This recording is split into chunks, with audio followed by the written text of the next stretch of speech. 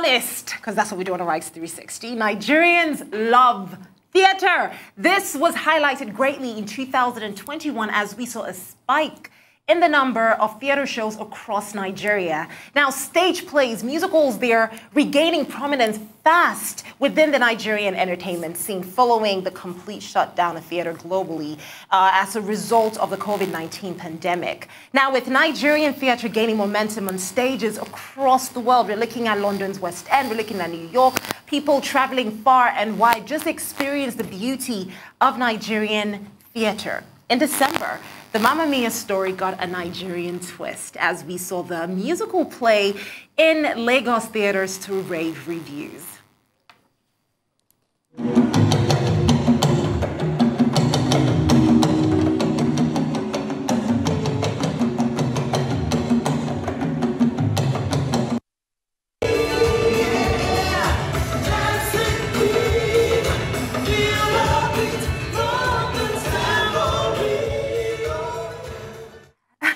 Well, joining me now on Arise 360 to speak on the re-emergence of theatre in Nigeria, I've got Ireti Bakare-Yusuf, the executive producer, Mamma Mia Nigeria, and Najite Dede, the director, Mamma Mia Nigeria. You're welcome to the show. Thank you. Quite honestly, I have, so I, I had one theatre experience, and it was the most exhilarating moment ever. It just felt, I felt free. I'll use that word to explain being on stage and just expressing yourself. But I would say this, it was madness. so we're looking at you two beautiful ladies looking great, calm, relaxed.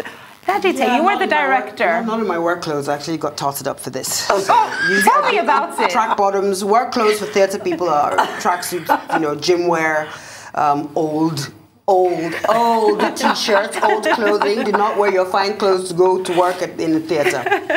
But why is that? What is it about theater that makes it, you know, so, you know, you have to just scrutinize the entire process? It is live, visceral, on-site, on-time, real-time work, and it's very physical. Um, And something like Mamma Mia, where you you're singing, dancing, and acting all three at the same time. So the process, um, and it took about six weeks.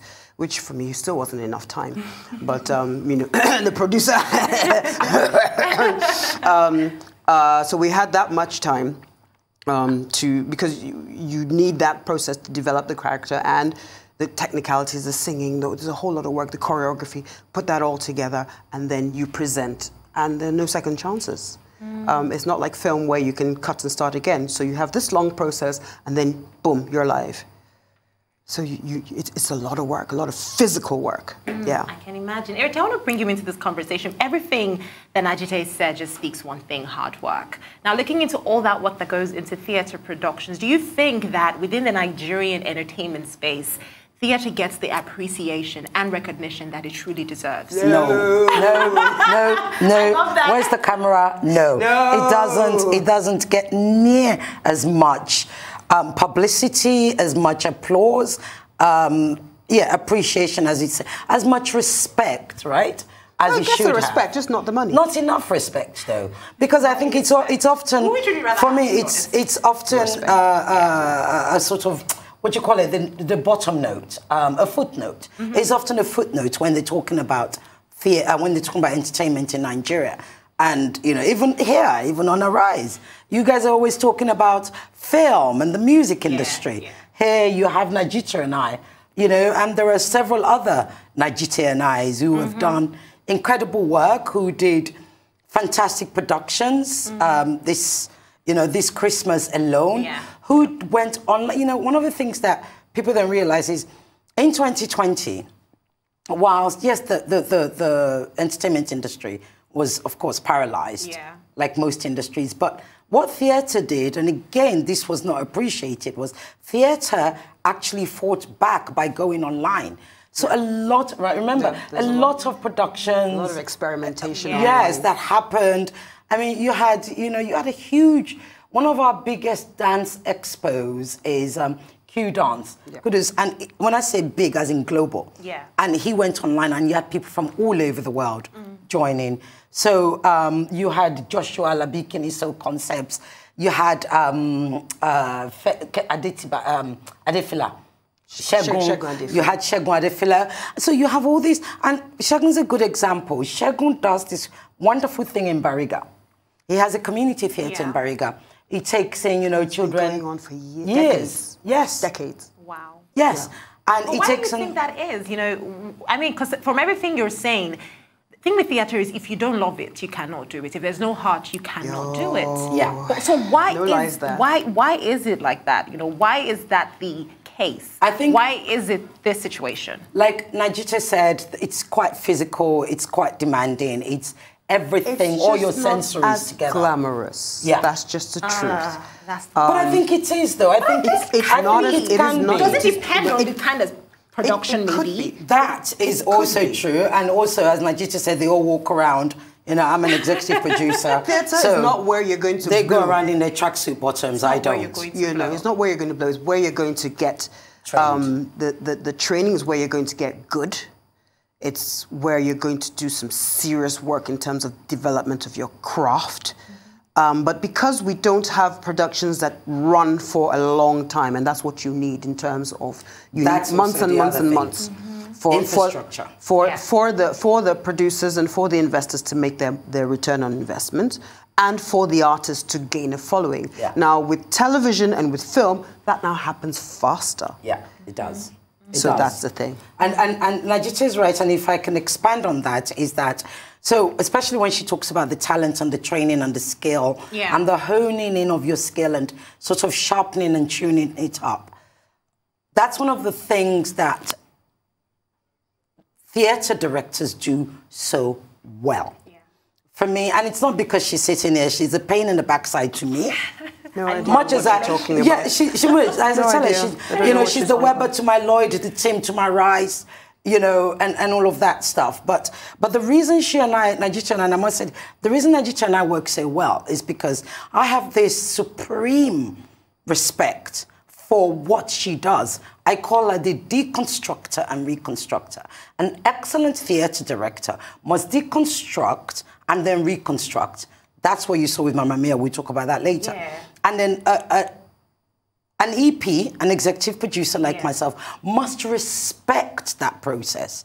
Even if I say to her, Nigel, can we, can't you just, she's like, No. no, no.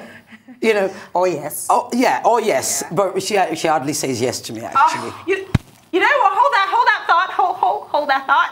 We're going to pick this up from the drama that happened on the set of Mamma Mia because I have a strong feeling that there was a lot of it. Well, not, funny enough, not between, between not us. between No, no, us. No, no, no, Oh, I mean, like, you know, casting and Yeah, oh, oh rehearsals oh, oh, and oh, drama oh, and emotions as well. Because, of course, it is Mamma Mia at the end of the day. We're going to take a quick break in Arise 360. Do stay tuned, though. Coming up, we're still speaking about theater in Nigeria and everything you should know about. Stay with us.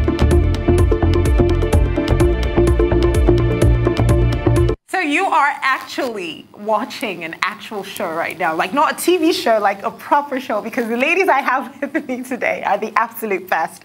We are still discussing theater in Nigeria. I have my guest Ireti Bakare-Yusuf, the EP executive producer, Mamma Mia Nigeria, and Najite Dede, the director, Mamma Mia Nigeria. So let's talk about this, right? Privately having creative differences. Exactly, creative differences. We're discussing. So basically, what's happening is we're trying to understand why, the why of this issue, right? For instance, I mentioned the Bank of Industry Fund that is enabled to filmmakers. And then the fact that why do we not have something like that for theater? Quicker What return is- on investment, simple. It's just not quick enough.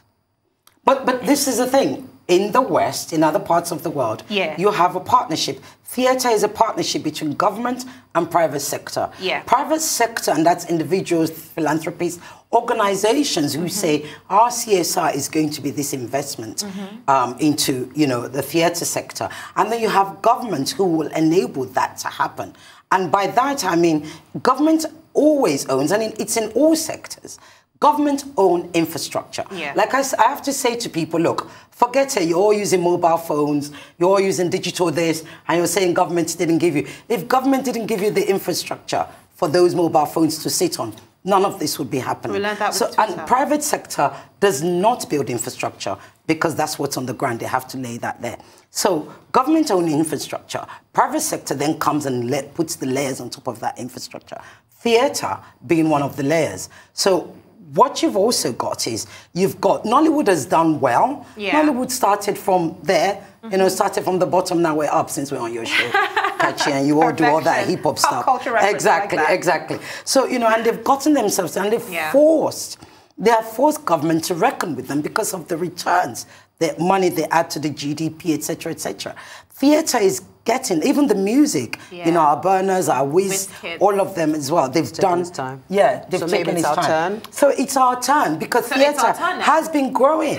It has been growing. It hasn't been stagnant. It actually has not been. Yeah. You mentioned Broadway. Yeah, yeah, yeah. Look at yeah. what's happening. It's we intense.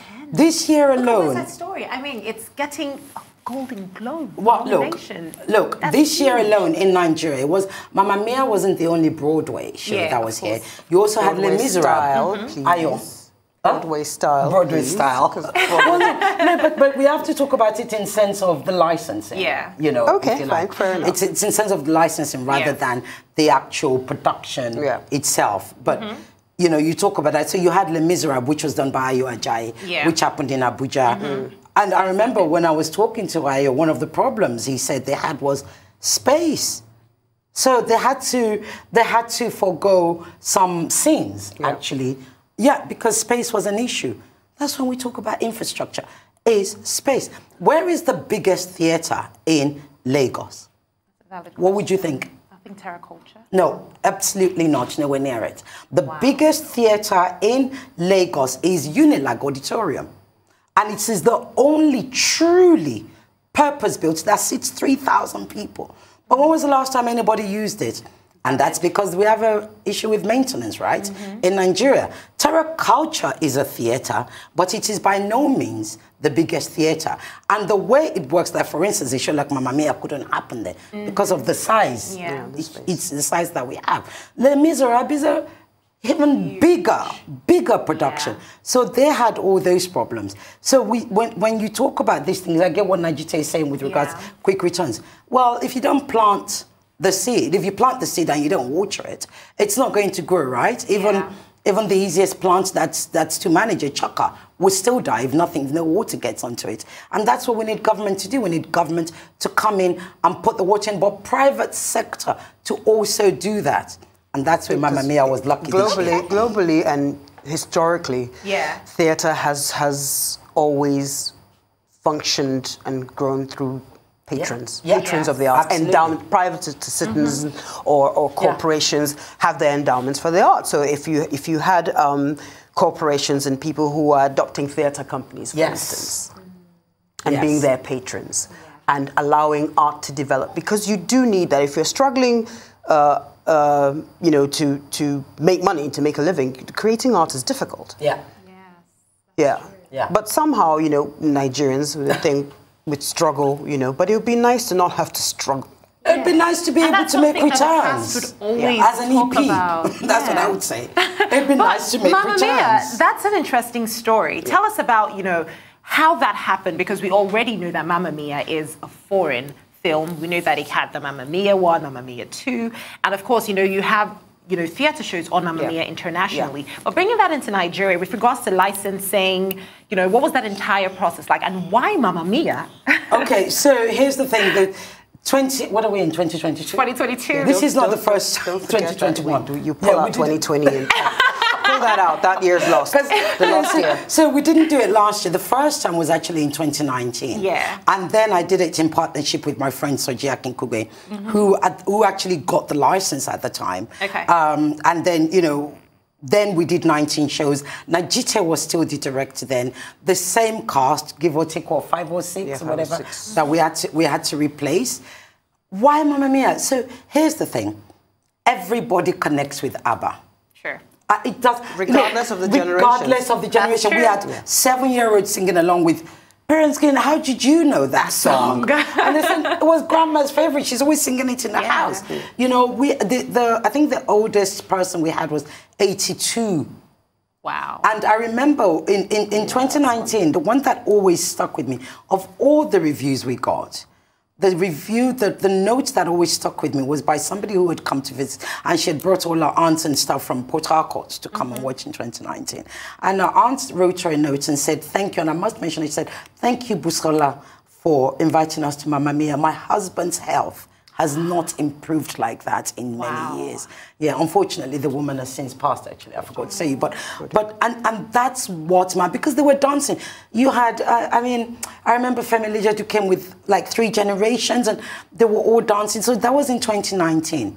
There was a lot of please bring it back. The cast refused to actually even close the WhatsApp group. um, you know, and so I applied for the license in 20. What have we done? I don't even know where we are now. We're yeah, last year. 2022. Right. So I applied for the license last year. Yeah. Uh, by myself because by that time I had created Jerry Seriki Productions, which was my own production company, and and I got the license. And the first person I called was Najite, and I said, always burdens "Guess me what?" Anita, let me get your own crazy side ideas. So whenever she has a crazy idea, and wants that crazy idea executed, she calls me, knowing that I'm going to go through the suffering of having this, having this done. But no, I mean, I was really, really excited at the thought Yeah. of, of, you know, of doing this again. Um, and then, you know, she doing it as a producer um, by herself. Um, and speaking about partnership in terms of produ- production, and I was like, no, I do not produce. Yeah. No. She- you that- want you it. want that kind of suffering? You do it yourself. I know the kind. So I make sweets. You sell sweets. That's what. She, that's how we work. Yeah, that's how we work. literally. I get it. I will make you the best sweets, the most delicious sweets, the Mm-hmm. tasty and everything. They will fizz in your mouth and wanna- you will get people to eat the sweets. Yeah. So that was that was it. But And she warned me not to sing. yeah, I know. And so long as you don't, because But I have a feeling that you would. She cannot sing. No, I, I, I hear it in your voice. Uh, thank you. she has a lovely contralto speaking voice. I can relate to that. I'm not a great singer. Dupe Ige, who's our music director on Yeah. Mamma Mia, said, I can sing I- I because she can make anybody sing, she Yeah, said. yeah. So, but I anyway. think I think I think She you can can't. sing. Yeah. Then they say, why are you so certain? Have you heard her sing? But, but, Yes. you, but you know, we, She insists on. In fact, when she got when she got the license, so she Yeah. picked up the phone and she started singing one of the songs. She was. That's the first thing. That's when I knew that oh, she had gotten the license. I was like, yeah. Oh, um, so you, so that was you know but your exciting. team, your, your choreographers and you can dance. You Ooh. cannot sing. You know what? It's I okay. think that both of you should definitely, you know, have like, you know, a show.